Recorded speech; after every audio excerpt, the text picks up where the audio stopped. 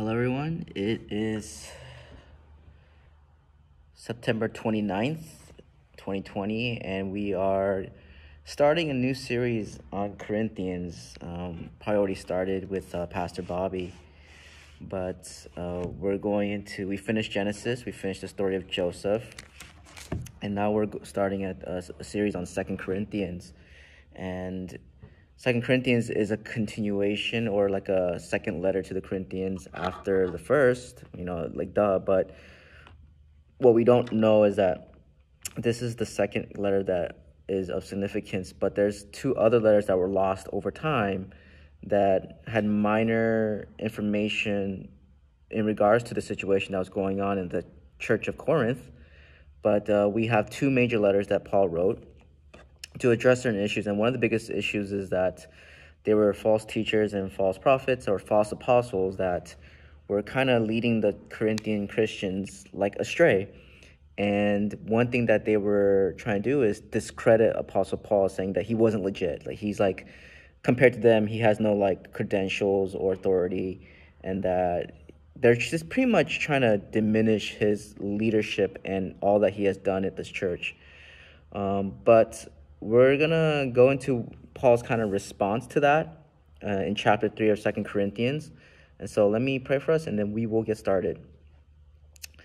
Lord, we just thank you for this time, and as we gather, we pray that we will be able to continue to discern your word. Um, Lord, today we're talking about Christian frustrations. Remind us, Lord, that the Christian walk, though it is hard and it's difficult, and the road may be bumpy, and we will definitely get frustrated.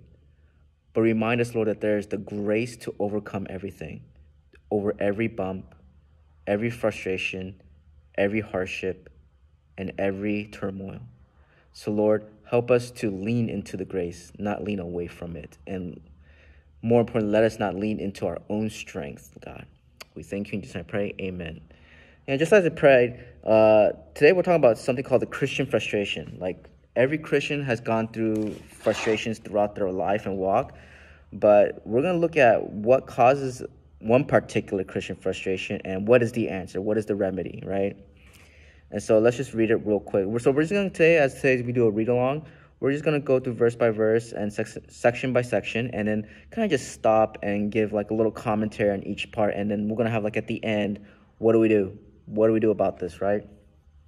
And so um, verse 1 it says, Are we beginning to commend ourselves again, or do we need, like some people, letters of recommendation to you or from you?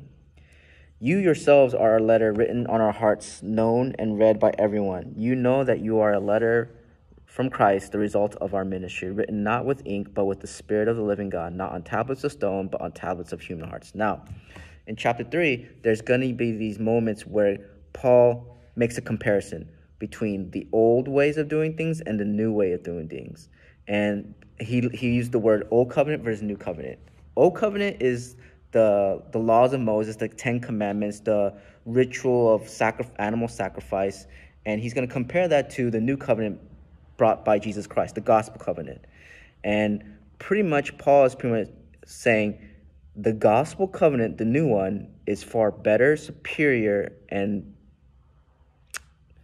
I mean, there's no other words to describe, right? It's, it's superior, better, and applicable to our lives. Now, in the sense that when I say applicable, not saying the old covenant wasn't applicable, I say uh, maybe a better word is that it is more feasible or doable in the sense that the old covenant relied on human ability to fulfill. The new covenant relies on God's ability to fulfill. And if you know that why that's so important is if it's on our hands, it's going to fail. But if it's in God's hands, it's going to succeed, right? And so, as Paul's writing this response, because there's these leaders who are teaching and leading the Christians astray, and a lot of the big struggles of the early church, not just at Corinth, but just early church in general, was that you needed Jesus and something else to fulfill the gospel. But the gospel is pretty much saying, no, you just need Jesus Christ. Believe and live for to believe that he is Lord and Savior and that his death and resurrection was enough for you and me to be in heaven. But there is these false teachers who are trying to say, no, you need Jesus and this. And that's the gospel. But that is not the gospel. Gospel is Jesus and Jesus alone. It's not you need to then do this, this, and this to make it a real reality.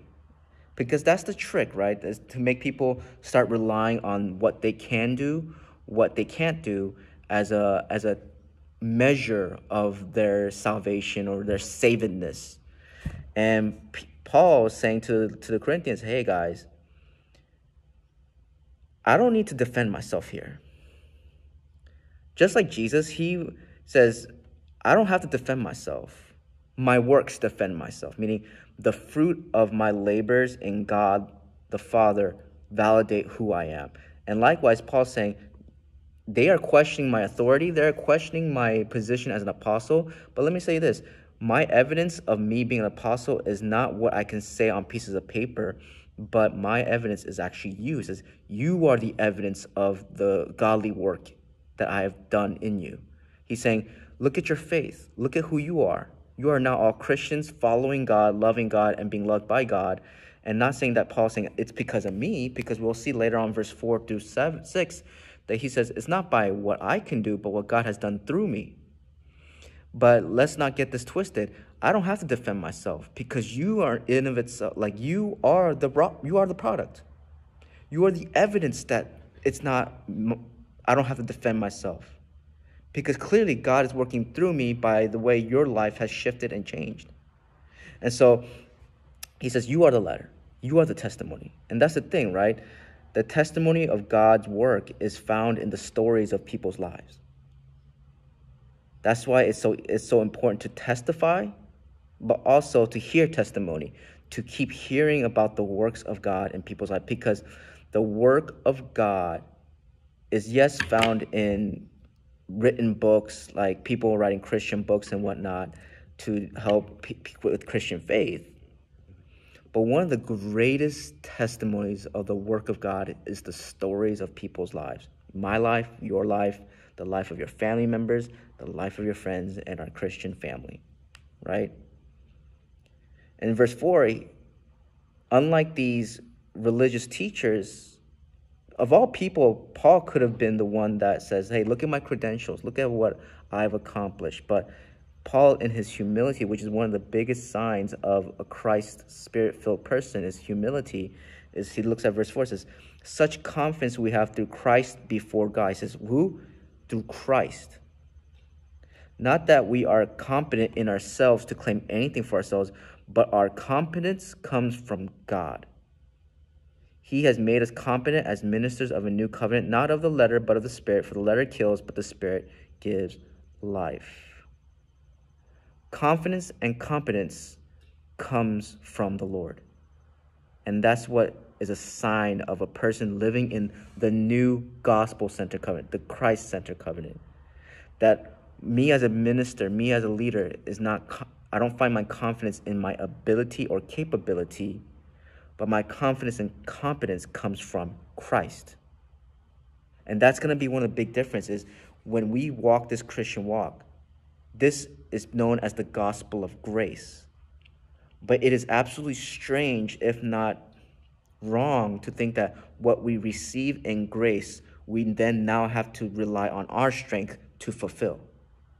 And same way for Paul, he says, what this ministry of the gospel of grace is started by grace it is foolish to think that the leaders of this ministry is done rely on their own strength and capability. What starts in grace is going to continue in grace and is going to end in grace. And we're going to see what does that look like in the Christian life, right? What does that mean is to live in grace rather than in works.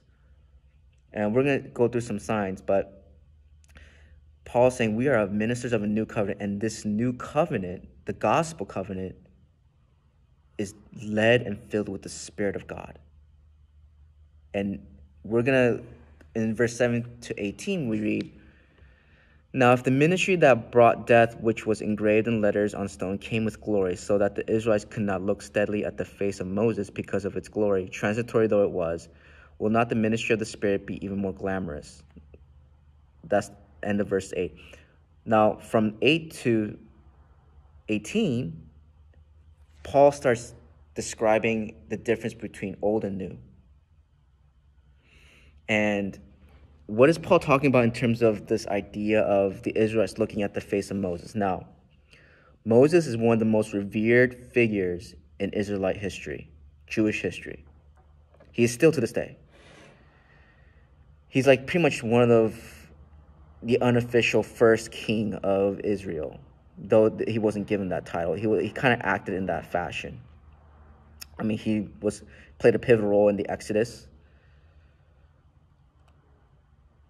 Moses, when he went up into the mountain of God, to, I mean, to a mountain to converse with Lord, they say that in the scriptures when he came back down, that because he was face to face with God, not like face to face literally, but that he was encountering the manifest presence of God, that the glory of God shined upon Moses, and then Moses' face was glowing. Um, if I were to imagine it, imagine like when Moses coming down the mountain that he's like glowing like he's radioactive. It's like he's like like he was he was reflecting the glory again. That's that's what we as Christians should do, right?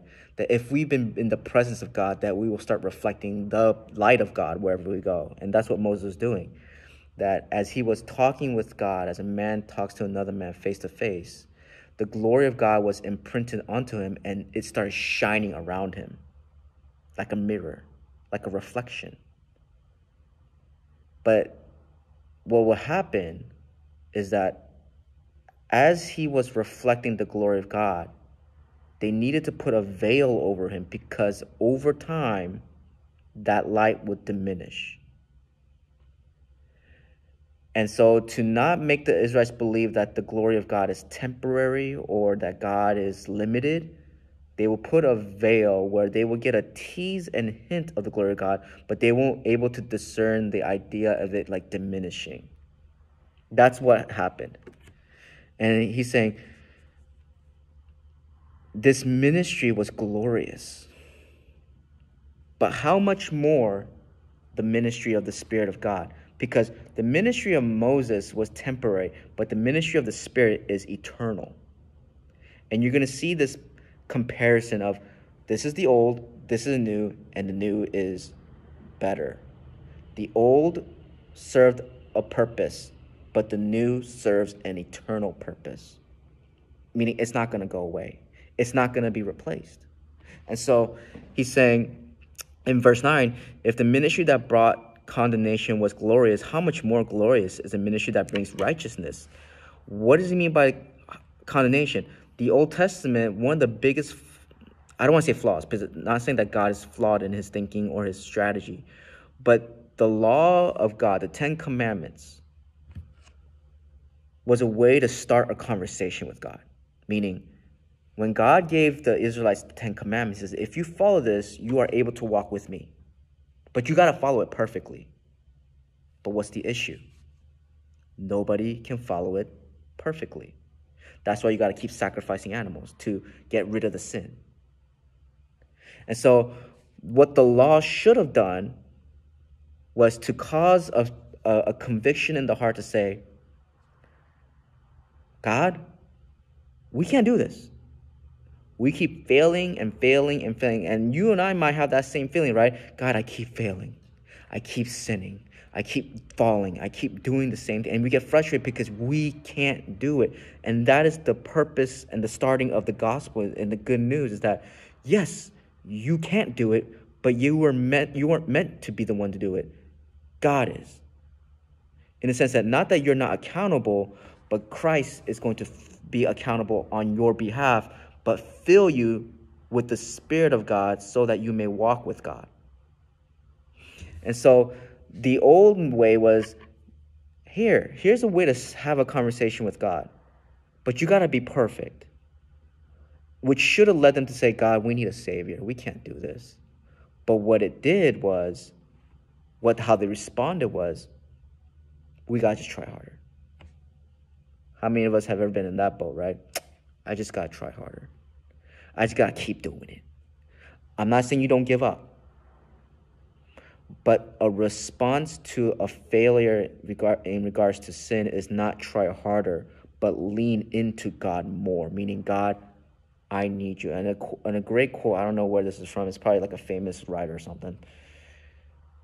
Our response that reveals that we live in the new covenant in the gospel kind of as opposed to the old is when when we are in trouble we don't try to hide from God but we go to God to tell him I need help. See when we live in the old way we rely on our ability to clean up. But in a new way we rely on the truth that he already has cleaned us up by his sacrifice.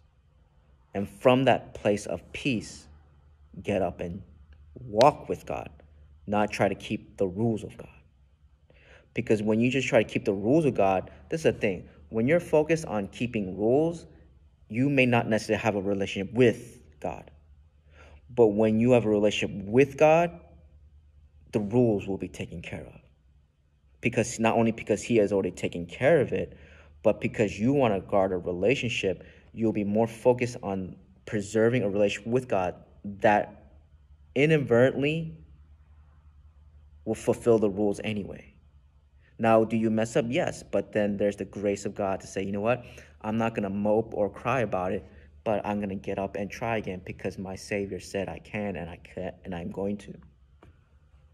And so, for verse 10, for what was glorious has no glory now in comparison with the surpassing greater glory. And if that what was transitory or temporary came with glory, how much greater is the glory that which will last? Meaning the benefits of the new last forever. Verse 12. Therefore, since we have such a hope, we are very bold. We are not like Moses, who would put a veil over his face to prevent the Israelites from seeing the end of what was passing away. But their minds were made dull, for to this day the same veil remains when the old covenant is read. It has not been removed because only in Christ is it taken away. Even to this day, when Moses is read, a veil covers their hearts. But whenever anyone turns to the Lord, the veil is taken away. Now, the Lord is the Spirit, and where the Spirit of the Lord is, there is freedom. And we all who with unveiled faces contemplate the Lord's glory are being transformed into his image with ever increasing glory, which comes from the Lord who is the Spirit. When we turn to the Lord, see, a veil is like a, see, a veil is like, you know, a thin piece, piece of cloth or a barrier that you get a partial view of whatever it's covering. A veil partially reveals glory. Think about it. Uh, not so much these days, but back in the day, at a wedding, the the bride will wear a veil to cover her face. Like you can t- you can kind of make out her face, but you won't be able to see clearly her face. But what happens when someone removes the veil? They get to finally see the glory and beauty of their bride. You get the fullness. You know how I said that the old covenant is like a starting conversation. You like you get to start start a conversation with God. The new covenant moves beyond just starting a conversation, but builds a relationship. And this idea of veil is that the old covenant gives you a glimpse, it teases you the glory of God. But the new covenant gives you the full blast of the glory because Christ reveals or gets rid of the veil and you see the goodness and fullness of God fully. And verse 18, because of that, says, All who with unveiled faces so this is the outcome, the an actual outcome of those who have been unveiled is that we contemplate or focus on the Lord's glory because we're able to focus on the Lord's glory. We're no longer focusing on the brokenness of our sin, but we're focusing on the gloriousness of our perfect Savior.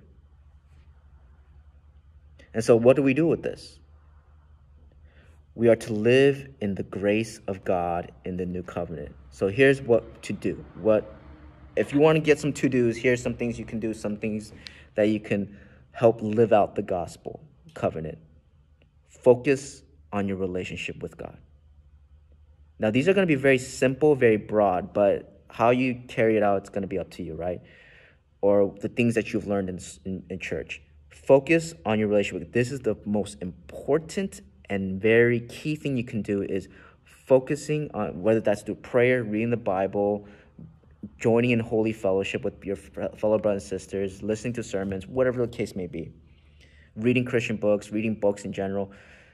Focusing on the relationship with God is the of the most primary and most important pursuit of any Christian in their walk. It is not becoming it's not about becoming spiritually powerful or influential. It's about being connected to God. Which then goes on to focus on just doing the work of work for God.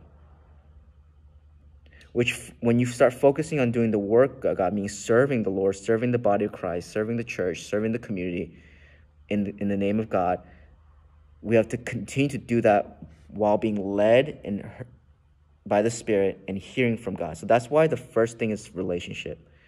It's so hard to do ministry if you have no relationship with the Spirit. You'll burn out. You'll literally just burn out. And you'll become bitter, jaded, and maybe walk away. Now, what not to do. This may sound contradictory to some things on the first list, but let me explain. What not to do. One is this work more. What do I mean by that? Because the in the first list says do work, but to not, the not do list not work. Why? Is, it seems like a contradiction. What do I mean by not work? Not work more. When you and I are in hard times, and we are serving and we are burning out, the goal is not to serve more. The goal is to lean into God more in the secret place, in worship and intimacy. More oftentimes, we may burn out. There's multiple reasons. One reason is maybe we're doing a little bit too much, meaning we carry on too many responsibilities that we shouldn't be, and therefore we're overloaded. So, therefore, we are overloaded. That's why we burn out. And that can have a whole list of reasons as to why we're overloaded. Maybe we think we're the savior. Maybe we think we have the skill and therefore we want to keep whatever the. It's different for each person. The other way we burn out is when, even though that the load is manageable, we still keep trying to do it without God's spirit. That's why we need to focus on God's in relation with God we are not living in the new covenant if all we do is work more but not lean into a relationship with the Father, Son, and the Holy Spirit. Working more does not build an intimate relationship. You have to be intentional with it. You have to slot out time for it on a daily basis, not just once in a while, but daily. Not during just retreats or mission trips or revival services, but daily. What you steward in the daily is far more important than what you do in just a season. Do not work more as the solution, but lean in more to the Lord. What not to do. Just like Paul,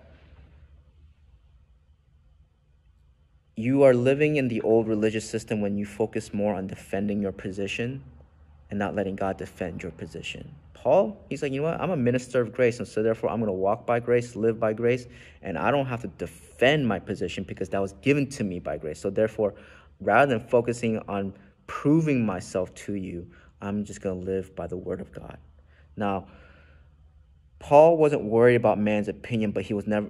That doesn't mean he wasn't accountable to man's opinion, because that's the response, right? It's like, oh, I'm, I do not want to entertain the fear of man, and therefore I don't listen to any man. That's not the point. The point is that you're not ruled by the voice of men, but the voice of God. But you also have to listen. You have to listen. Because if you don't listen, then you become prideful. And if you become prideful, then you become less connected to the Lord. When pride enters the picture, God leaves the picture. And that's when you start operating more in an old covenant way than a new covenant way. And so, just to recap, let's just focus on what to do primary. Your intentional stewardship, protection, growing of your relationship with God. Serving the Lord, And as you serve, continue to hear from the Lord. And it's like a cycle. Build your relationship with God. All right? We should start a new series. Hopefully, that whenever there's a Christian frustration, that maybe that's a sign to go seek the Lord, that you've been depriving your soul of seeking the Lord intentionally and being filled by His presence. Because most Christian frustration, not all, but most, comes not from an overabundance of God in one's life, it's actually the lack of.